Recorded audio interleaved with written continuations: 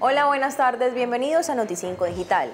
Comenzamos esta edición de hoy martes 21 de agosto con el juez de control de garantías de Ibagué, que legalizó la captura de seis personas que integran una red dedicada a enviar narcobuses. Al parecer estarían involucradas en el accidente de Ecuador.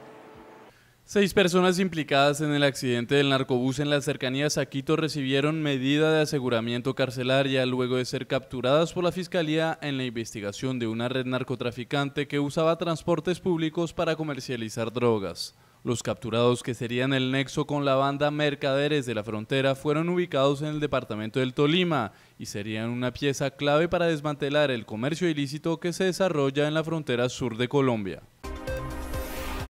y habitantes del barrio El Guabal ya tienen todo listo para recibir los cuerpos de las cuatro mujeres que murieron en el accidente de tránsito en Ecuador.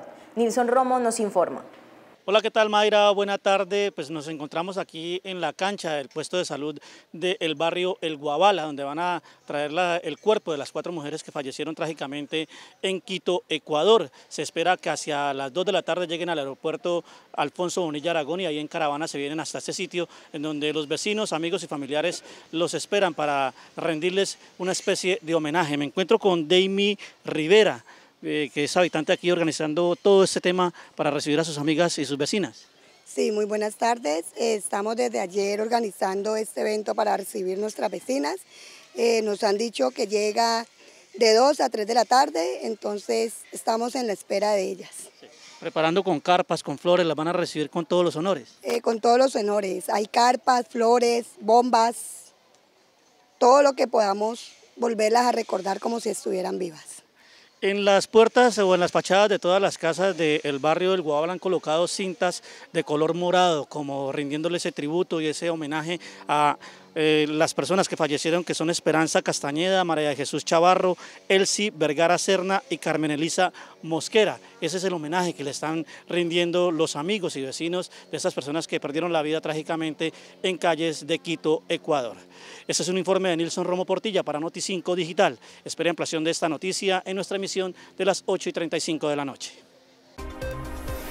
Y tras el accidente presentado en uno de los ascensores del Palacio de Justicia en Cali, continúa el cese de actividades de la rama judicial. A esta hora, Michelle Chavaco nos tiene los detalles.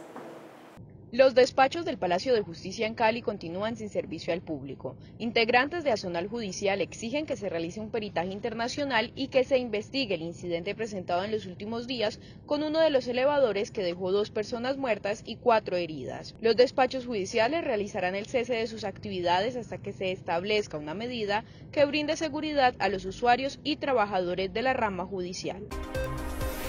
Gracias, Michelle. Y mañana el Deportivo Cali seguirá su participación en la Copa Sudamericana ante la Liga de Quito en Ecuador, mientras que el América se encuentra buscando nuevo técnico tras la salida de Pedro Santos. Esteban Prado nos tiene las novedades deportivas.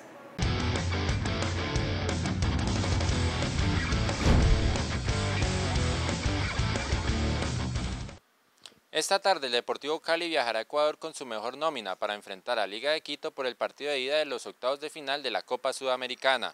El conjunto verde y blanco viene a dejar en el camino a Bolívar ganando sus dos compromisos, mientras que los ecuatorianos siendo fuertes del local eliminaron a Vasco da Gama. Por el otro lado, el América sigue buscando entrenador luego de la salida de Pedro Felicio Santos tras la derrota ante Nacional. Hasta ahora, el encargado de preparar el partido ante Millonarios de este fin de semana será Gerson González mientras se encuentran un nuevo orientador. Soy Esteban Prado y sigan conectados con Noticinco Digital.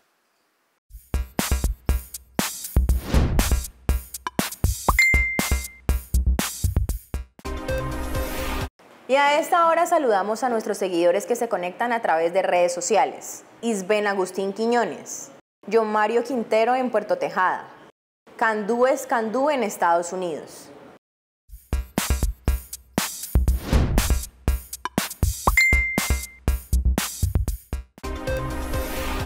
Y así llegamos al final de Noticinco Digital. La ampliación de esta y otras noticias en nuestra emisión central de las 8 y 35 de la noche.